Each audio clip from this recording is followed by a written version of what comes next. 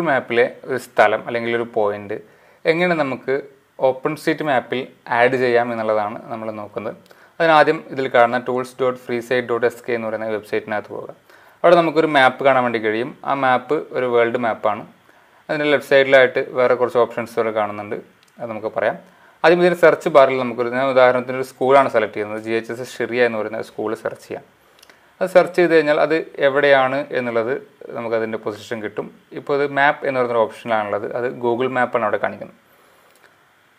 ഇനി അതിന് തൊട്ടപ്പുറത്ത് പോയി കഴിഞ്ഞാൽ ഒ എസ് എം എന്ന് പറയുന്ന ഒരു ഓപ്ഷൻ ഉണ്ട്. അത് ക്ലിക്ക് ചെയ്ത് കഴിഞ്ഞാൽ ഓപ്പൺ സ്ട്രീറ്റ് മാപ്പിൽ അതിന്റെ ലൊക്കേഷൻ കാണാൻ വേണ്ടി കഴിയും. ഇപ്പോൾ അവിടെ ഒന്നും അടയാളപ്പെടുത്തിയില്ല. കാരണം പ്രത്യേകിച്ച് പേരൊന്നും കാണുന്നില്ല.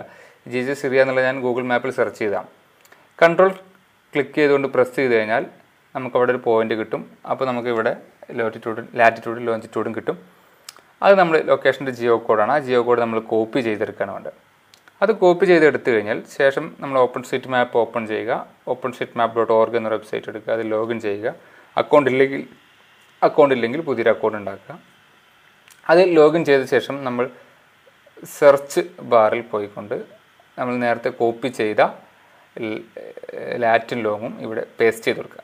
അവിടെ പേസ്റ്റ് ചെയ്ത് ഗോ എന്ന് പ്രസ് ചെയ്ത് കഴിഞ്ഞാൽ നമുക്ക് അതിന് തൊട്ട് താഴെയായിട്ട് അത് കാണാൻ വേണ്ടി കഴിയും. അതിൽ ക്ലിക്ക് ചെയ്ത് കഴിഞ്ഞാൽ നമ്മൾ ആ പോയിന്റിലേക്ക് കൃത്യമായിട്ട് എത്തും. ഇനി നമുക്കവിടെ എഡിറ്റ് ചെയ്യണമെന്നുണ്ടെങ്കിൽ എഡിറ്റ് എന്ന് പറയുന്ന ബട്ടൺ പ്രസ് ചെയ്യുക. എഡിറ്റ് നൗ എന്നുള്ളത് ക്ലിക്ക് ചെയ്ത് കഴിഞ്ഞാൽ നമ്മളിപ്പോൾ നിൽക്കുന്നത് ആ ഒരു സ്കൂൾ പരിസരത്താണ്. ആ സ്കൂളിലെ ലൊക്കേഷനാണ് നമ്മൾ കൊടുത്തത്. ഇനി നമുക്ക് ഇവിടെ വേണമെങ്കിൽ സെർച്ച് ചെയ്ത് നോക്കാം അപ്പോൾ നമ്മൾ അവിടെ സ്കൂളിന്റെ അവിടെ എത്തിക്കഴിഞ്ഞ് നമുക്ക് ആ സ്കൂൾ മാർക്ക് ചെയ്യാം. മാർക്ക് ചെയ്യാൻ വേണ്ടി മൂന്ന് സാധനങ്ങളാണുള്ളത്. ഒന്ന് പോയിന്റ് ലൈൻ ഏരിയ ഇതൊരു ഏരിയ ആയതുകൊണ്ട് ഏരിയ സെലക്ട് ചെയ്യുന്നു. ഏരിയ പ്രസ് ചെയ്തുകൊണ്ട് നമുക്കൊരു ആ സ്കൂൾ ഏരിയ ഒന്ന് കവർ ചെയ്യാം.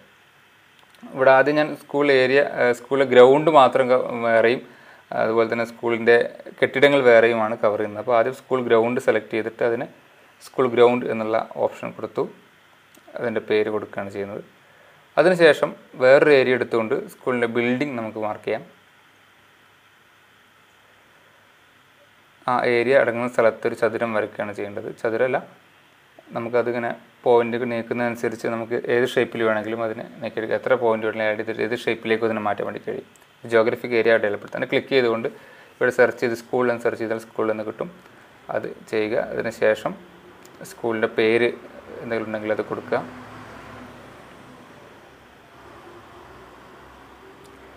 അങ്ങനെ സ്കൂളിന്റെ പേര് ടൈപ്പ് ചെയ്യുക. നമുക്ക് ലൈവായിട്ട് ഇവിടെ കാണാൻ വേണ്ടി കഴിയും. അതിനുശേഷം സേവ് എന്നുള്ളത് പ്രസ് ചെയ്യുക. ശേഷം നമ്മൾ എന്ത് എഡിറ്റാണ് വരുത്തിയത് എന്നുള്ളൊരു കമന്റ് അവിടെ ആഡ് ചെയ്യുക. ഞാൻ തൽക്കാലം ആഡഡ് ശരിയാ സ്കൂൾ എന്ന് കൊടുക്കണം. അങ്ങനെ അത് ചെയ്ത് അതിന് അത് ചെയ്തതിന് ശേഷം നമ്മൾ അപ്ലോഡ് എന്ന് പറയുന്ന ഓപ്ഷൻ ക്ലിക്ക് ചെയ്യുക. അപ്പോൾ നമ്മളിപ്പോൾ ചെയ്ത എഡിറ്റ് ഓപ്പൺ ഷീറ്റ് മാപ്പിലേക്ക് അപ്ലോഡായി ലൈവായി വന്നു കഴിഞ്ഞു. ഇനി നമുക്ക് ഓപ്പൺ ഷീറ്റ് മാപ്പ് എടുത്തു കഴിഞ്ഞാൽ ഈ സ്കൂൾ അവിടെ രേഖപ്പെടുത്തിയിരിക്കുന്നതായിട്ട് കാണാൻ വേണ്ടി കഴിയും.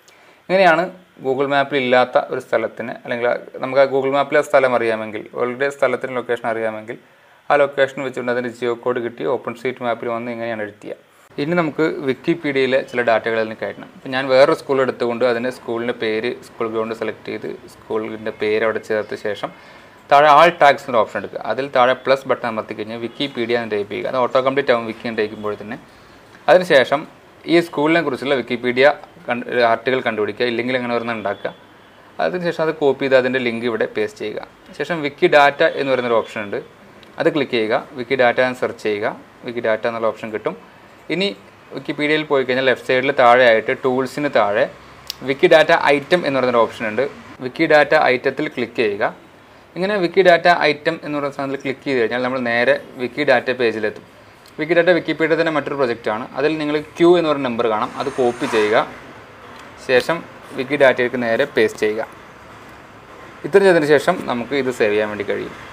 ഇനി നമുക്ക് റോഡ് എഡിറ്റ് ചെയ്യണമെങ്കിൽ ഇപ്പോൾ കാണുന്ന ലൈൻ റോഡാണ് നമുക്ക് ഓൾറെഡി നമുക്ക് ചിത്രത്തിൽ നോക്കി അറിയാം റോഡ് കുറച്ച് വിട്ടിട്ടാണ് കിടക്കുന്നത്. നമുക്ക് അതിനെ വേണമെങ്കിൽ അഡ്ജസ്റ്റ് ചെയ്ത് റെഡിയാക്കി കൊടുക്കാം.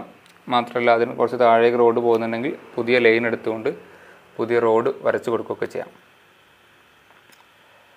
റോഡിനും ഇതുപോലെ തന്നെ റോഡിന്റെ പേര് അതുപോലെ തന്നെ റോഡിന്റെ മറ്റ് ഡീറ്റെയിൽസുകൾ കാര്യങ്ങളെല്ലാം നമുക്ക് ആഡ് ചെയ്ത് കൊടുക്കാൻ വേണ്ടി കഴിയും.